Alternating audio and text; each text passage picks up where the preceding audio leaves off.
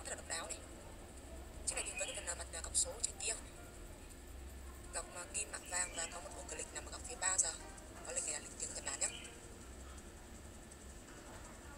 vỏ viền bọc thép không gì toàn thân. Đây, các bác có thể thấy đây là phần mặt đáy này. Có in hình à, tên thương hiệu và cái bộ thông số của cái bộ máy của chiếc Citizen này. Viền rất là sáng và đẹp. Form dáng thiết kế cực kỳ là độc lạ. Xe ngang của chiếc đồng hồ Citizen này nó là size 38 này. Size 38 không đúng lỗ nhé dây nguyên bản.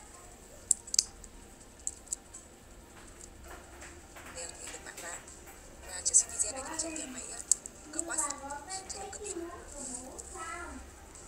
và đây là một máy trong của chiếc đồng hồ Citizen này. Đây các bạn có thể thấy này, chạy động cơ pin nhưng mà vẫn có cái phần ờ, bánh gai dây tóc này rất là độc đáo. Hầu như các bác không thể nào có tìm được một điểm nào nó có thêm cái bộ máy như thế này cực kỳ là độc nhá em sẽ đeo thử lên tay các bác nhìn rõ hơn cái phần chiếc này Đó, đây là chân. rồi và các bạn cũng chốt đơn cho em với bộ đồng hồ Citizen này nhá mã sản phẩm của nó là C14 giá 950 nghìn. AC14 giá 950 nghìn.